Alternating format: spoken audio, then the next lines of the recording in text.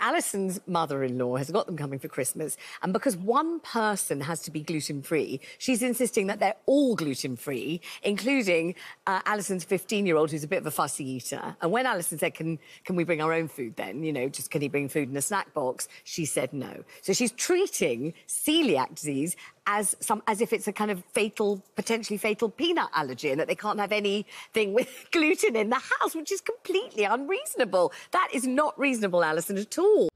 Hello, I just seem to have offended some celiacs. Certainly not intentionally. Lots and lots of my very, very good friends are celiacs. In fact, there are loads and loads in Ireland, and I spend an awful lot of time hanging out in Ireland. So I certainly didn't mean to offend anyone. And actually, I don't think I said anything that was wrong or factually incorrect or anything like that. But just in case, we're going to clear up everything there is to know about what it's like to be a celiac, what you can eat, what you can't eat, how expensive, of course, it is to eat a gluten-free diet, maximum respect to all people suffering from celiac disease, which I know is really, really a difficult thing to live with.